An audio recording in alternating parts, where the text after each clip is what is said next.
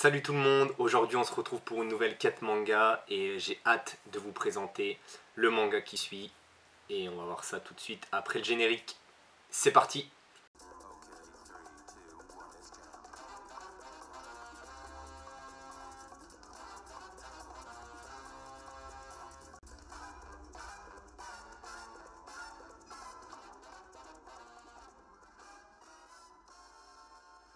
Alors du coup, après ce générique que j'apprécie toujours autant, je tiens à vous présenter Pilote Sacrifié, scénarisé par Naoki Azuma et euh, illustré par Shoji Kokami. Et donc c'est édité chez Delcourt Tonkam, je crois qu'au Japon il y a 6 tomes actuellement. Et donc du coup, comme d'habitude, on va commencer par le synopsis. C'est parti alors du coup, dans Pilote Sacrifié, on se retrouve avec Sasaki Tomoji, euh, qui est un jeune enfant, enfin un jeune adolescent, qui rêve de voler. Voilà, il rêve, sa passion, c'est l'aviation. Quand il, lui, quand sa famille, elle est en train de manger, lui, ce qu'il fait, c'est qu'il reste sur le toit de sa maison à contempler le vol des, des, avions qui passent et à saluer justement les petits pilotes qui sont dedans. Et justement, les pilotes, ils sont là en train de en train de le regarder et se dire mais lui il est toujours là euh, donc euh, c'est enfin il a vraiment une passion énorme pour euh, l'aviation. Et du coup pour réaliser son rêve il va intégrer l'armée de terre dans un premier temps. Il va se faire remarquer justement par ses qualités de pilote et il va intégrer le 4 corps aérien de l'armée japonaise.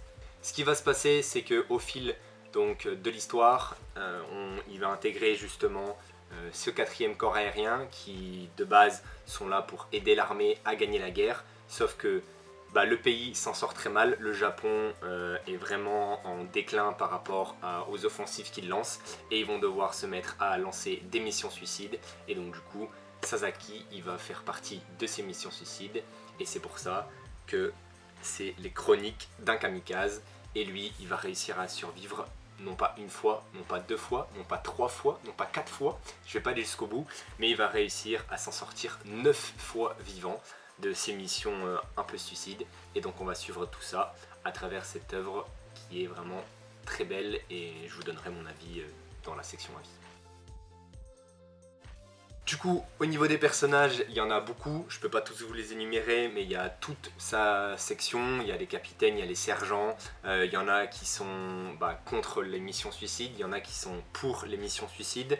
Euh, il, y a du, il, enfin, il y a pas mal de choses, puisque au niveau des personnages, il y a vraiment des, entre guillemets, des salauds, mais en même temps, c'était le milieu de la guerre et pendant la guerre bah, il se passe des choses qu'on ne peut pas forcément contrôler on va dire entre guillemets. Enfin on n'a pas j'ai pas vécu ça mais je pense qu'à l'époque ils n'avaient pas forcément trop le choix pour, euh, pour sauver leur miche. Euh, voilà et, donc du coup, on, se retrouve avec beaucoup, beaucoup, beaucoup de personnages, euh, tous euh, vraiment pour l'instant qui sont assez, assez importants, tous avec leur petit caractère. Il y a, euh, aussi justement bah, toute sa famille à Sasaki qui, de base sont là pour lui. Il y a les, y a les femmes de, de, certains soldats qui sont aussi très importantes pour moi à mes yeux, surtout dans, dans ce tome-là. Même si on les voit très très peu, je trouve qu'elles sont, elles sont hyper importantes, elles rajoutent de l'émotion et une touche de, de drama, de drama on va dire, dans, dans cet univers-là, euh, qui est déjà un peu, un peu sombre et tragique. Mais, euh, mais du coup, voilà pour un peu les personnages qu'on peut avoir dans euh, Sasaki. J'étais un peu flou, mais parce qu'il y en a beaucoup, et si, et si pardon, je vous les énumère tous, bah, ça va être assez long. Au niveau de l'intrigue, bah, c'est simple. Je l'ai peut-être pas précisé dans, dans le synopsis, mais c'est une histoire vraie.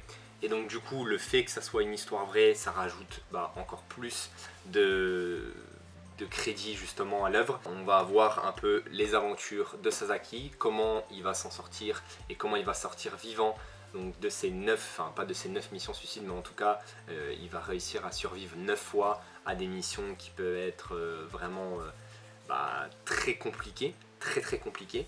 Euh, et, donc du coup, on va pouvoir voir aussi bah, comment ça se passe pour ses compatriotes, ses amis, peut-être au fil du temps. Et euh, il va sûrement créer des liens, on va voir quel choix il va faire. Euh, on va voir aussi bah, comment se passe la guerre et comment se passe la guerre au plus profond, puisque c'est une histoire vraie, comme je le répète. Et donc du coup, il y a beaucoup de détails. J'ai essayé de faire une recherche sur, Sasaki pour voir si les dires étaient vrais, mais malheureusement, je n'ai pas, pas trouvé parce qu'il y, a même des, euh, des situations de combat et des techniques de combat qui sont utilisées dedans, qui, enfin, qui si étaient vraies, je trouve ça un peu, un peu fou et je trouve ça vraiment exceptionnel. Il y a par exemple une attaque d'avion qui permet de raser le, vraiment de raser la mer et de lancer son obus et en fait, avec la vitesse de l'avion et avec la vitesse de lancer de l'obus, l'obus ricoche contre l'eau et va percuter euh, le flanc d'un bateau.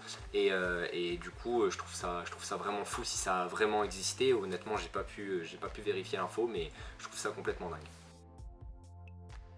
Pour ce qui est du dessin, honnêtement, euh, bah, Shoji Kokami, il dessine vraiment très très bien. Franchement, il a un coup de crayon très très bon. On peut le voir déjà par rapport à, la couverture que je trouve vraiment sublime et qui en plus euh, et, a ce rendu encore plus, euh, encore un peu niveau peinture et un peu vieilli par rapport à, la matière de, la couverture qui on dirait un peu dans le style, enfin je sais pas, crépon pigmenté, un peu pigmenté la, couverture.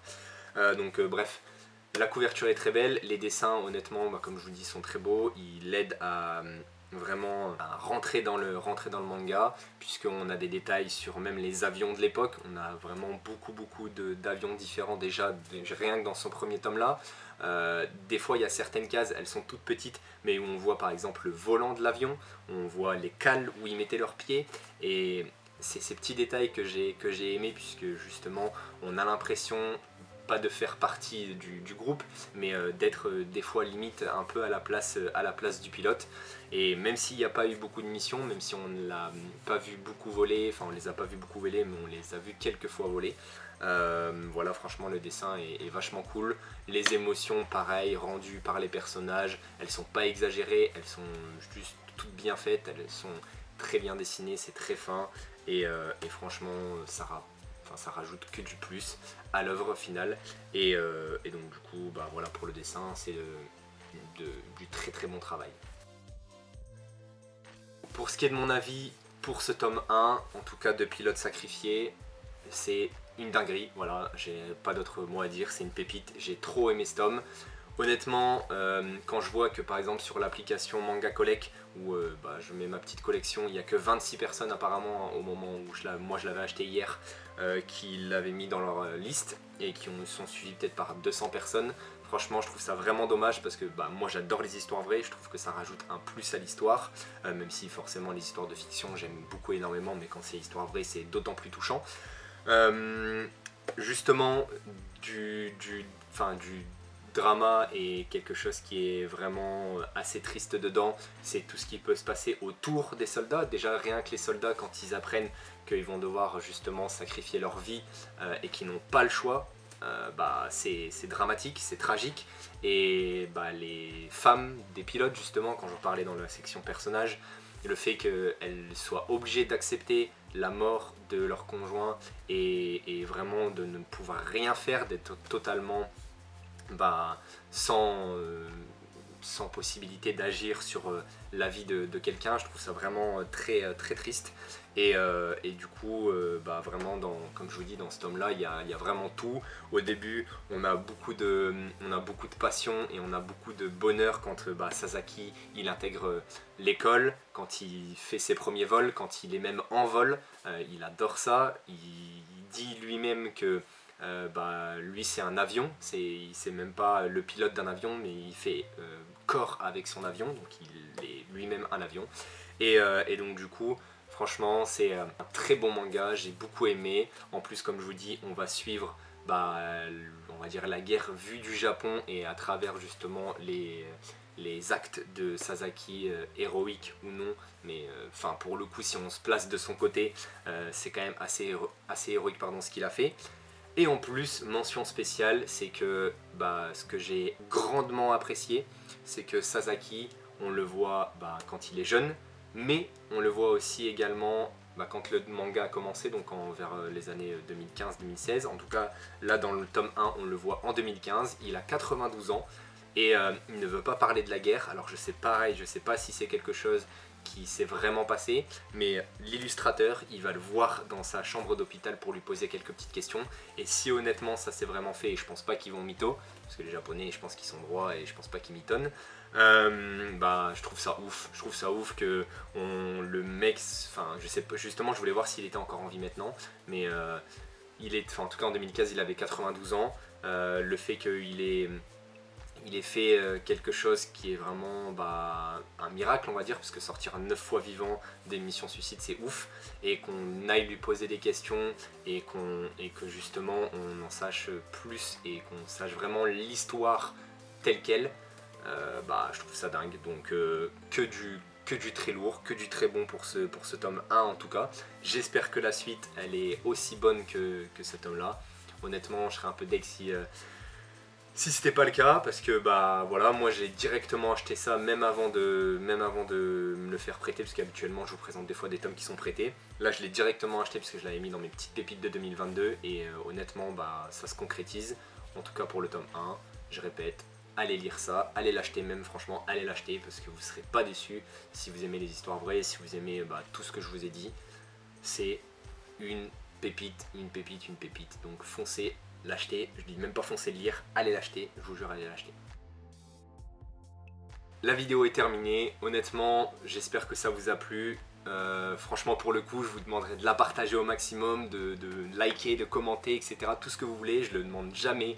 Mais pour le coup, vu que c'est un gros coup de cœur de ma part et que, bah, comme je vous l'ai dit, il y a peu de personnes qui, en parlent, voire pas du tout, euh, bah, foncez, foncez le partager, même foncez l'acheter, parce que ça mérite vraiment grandement sa place dans votre manga tech. Et, c'est une très belle histoire, en tout cas pour le coup, pour le tome 1. Donc euh, voilà, j'espère que ça vous ait plu. Moi, j'ai mis tout mon cœur en tout cas dans cette vidéo, j'ai vraiment trop kiffé. Et ça fait plaisir justement de vous présenter un manga que j'aime énormément parce que les deux, anciennes quêtes manga, il y avait, du mitigé, mais là j'ai trop adoré. Donc je vous dis à bientôt pour une prochaine vidéo. Salut